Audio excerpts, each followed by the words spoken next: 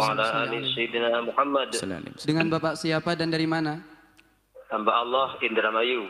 Baik Bapak, silahkan bisa bertanya langsung kepada Buya. Assalamualaikum warahmatullahi wabarakatuh. Waalaikumsalam warahmatullahi wabarakatuh.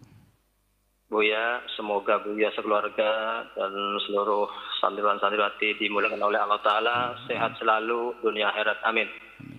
Mohon maaf bertanya Buya mengenai harta waris apakah hukumnya wajib segera dibagi atau bagaimana kalau bertahun-tahun waris tersebut tidak dibagi-bagi?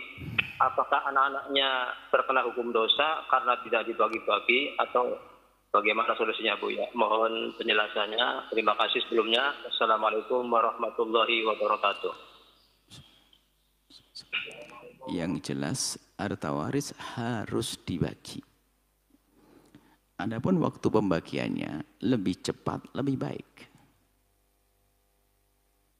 Sebelum mohon maaf, hawa nafsu masuk ke dalam hati. Kerusakan-kerusakan, keinginan, keinginan jelek.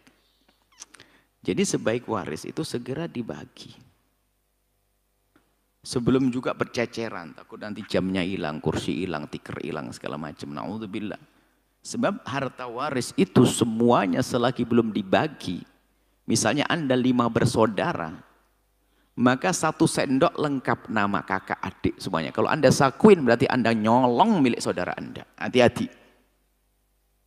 Selagi belum dibagi, kalau Anda masuk ke rumah pusaka, rumah peninggalan, Anda ambil satu neraka. Ya kan? Kecuali sudah dibagi, Cuman kalau urusan sendok aja biasanya cara baginya, dek siapa yang belum punya sendok ambil ya, oke oke halal halal halal halal oke. Tapi kalau udah dibagi bahaya. Bahkan bisa menjadi sebab permusuhan itu. Keset rusak sudah ditendang-tendang. Salah satu adiknya mengambil, dibersihkan, dipakai di rumah jadi kelihatan bagus. Kakaknya marah, lo kok bisa digini? Ngapain nih? Kapan ngambilnya? Jangan-jangan yang lain juga diambil. Oh, yang namanya harta waris itu setannya yang gede. Setannya yang gede hati-hati, jangan main-main urusan waris. Anda menunda, wah setannya semakin gede. Semakin banyak yang datang kepada Anda.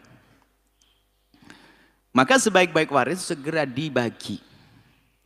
Tentunya setelah terpenuhi syarat-syaratnya, diberesi utangnya kepada Allah, utang kepada sesama manusia, zakatnya, wasiatnya, biaya perawatan jenazah dan sebagainya. Masuk untuk kafan dan sebagainya. Bukan selamatan, selamatan nggak boleh diambil dari harta peninggalan warisan. Setelah itu dikeluarkan baru wajib dibagi dengan cepat. Wajib dibagi, adapun dengan cepat itu jauh lebih bagus. Cuman kadang-kadang ini nggak enak masa baru meninggal langsung bagi-bagi waris. Berarti ini omongan yang paling membahayakan. Hati-hati. Kelihatannya nggak enak hati. Padahal itu menjadikan racun omongan yang begitu tuh. Masa baru meninggal dunia kok kita langsung bagi-bagi waris? Oh bukan, bagi haknya itu justru yang nggak rebutan. Kebijakan sahabat Nabi Sayyidina Abu Bakar As-Siddiq radhiyallahu taala dong lihat setelah baginda Nabi wafat apa yang paling penting untuk diurusi adalah peninggalan Nabi supaya umat tidak pecah. Sampai nggak sempat ngubur baginda Nabi. Ngurusi kekhilafahan ini para sahabat Nabi supaya tidak berantem nanti. Sebab ini terlambat sedikit saja. Wah sama waris ini gara-gara telat sedikit. Ini sang adik ini baik-baik tanya kepada abangnya. Bang, rumahnya ibu ini. Kenapa? Mau dijual? Belum selesai ngomong sudah dibentak. Allah, ini iblis benar. Manusia kayak gitu tuh. Ini sudah kita sering lihat manusia begitu. Makanya waris itu nerakanya yang gede, setan yang gede. Segera dibagi, bukan milik anda, haram. Sudah bagi cepat. Bagi, bagi, bagi, bagi, bagi. Dan jangan mau mengambil milik saudara, biarpun speser. Satu rupiah pun jangan mau mengambil milik saudara.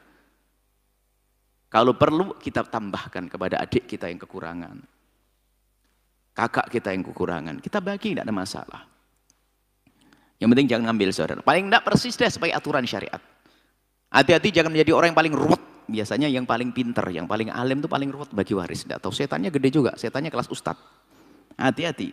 Yang biasa rebutan waris cucu yang paling ustad biasanya. Coba perhatikan. Sengaja tak begini ini biar sadar. Yang paling jago rebutan waris adalah yang paling ustad. Paling ngerti hukum, ajib. Dia paling wah berdalil di depan kita berhujah. Suatu ketika ada orang berempat, berlima datang ke sini. Karena sudah ada yang alim, saya langsung tenang. Alhamdulillah, sudah ada saudara yang pintar, selalu segera beresin. Setelah keluar, balik. Yang tiga balik lagi. Bu ya, abang saya yang paling ngomong tadi, yang paling sering jualan duluan. Hm. Yang paling jahat ini, yang paling ustad. Hati-hati. Ini ustadnya ustad Dajjal. Tuh. Bagi waris secepatnya.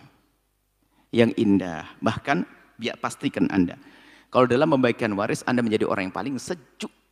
Sudahlah dek, gimana terbaik saja. Yuk. Jangan berani ngangkat suara. Sebab mengangkat suara ini akan mengundang suara yang lain lagi. Huh, berantem. Sehingga, oh na'udzubillah, wajib ini. Neraka ini. Neraka setan. Kadang-kadang rebutan waris tidak hanya orang kaya raya.